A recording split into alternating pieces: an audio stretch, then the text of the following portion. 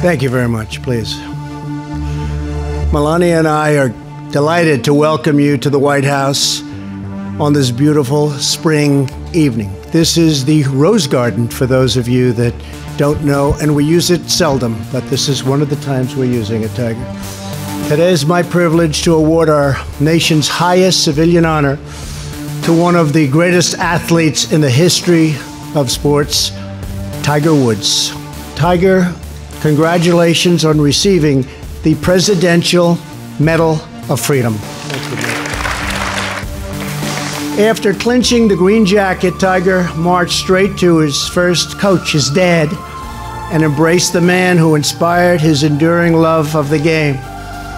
Then Tiger turned to hug his mom, the steady presence throughout his life. That's true. I've seen that, I've watched that.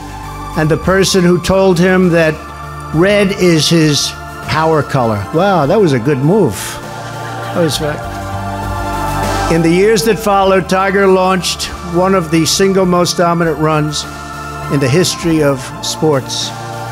He holds the record for the lowest scoring average in PGA Tour history. Sam and Charlie, for all your love and support. Um, I love you guys so much. Erica, thank you. I mean, everyone has meant, you guys have meant so much to me in my life, and um, I've, I've battled. I've, I've tried to I tried to hang in there, and I've tried to come back and and um, play play the great game of golf again. I've been lucky enough to have had the opportunity to do it again, and uh, found a game that has allowed me to do this. And the the amazing Masters experience that I just had a few weeks ago um, certainly is probably the highlight of what I've what I've accomplished so far in my life um, on the golf course to uh, have had that, that type of experience and to be able to come out on top and, and win. Um, Joey, thank you. All the great reads, too. Uh, I just want to say thank you again. This is um, an honor. I know that I'm the, the fourth golfer to have received this award. Um, the late Arnold Palmer, uh, the great Jack Nicklaus, and um, Charlie Sifford, who is, I always called him grandpa because he was like the grandpa I never had.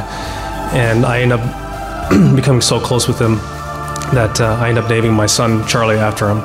So to have been uh, chosen as, as the next golfer um, after Charlie is uh, truly remarkable. So thank you again, and thank you, Mr. President.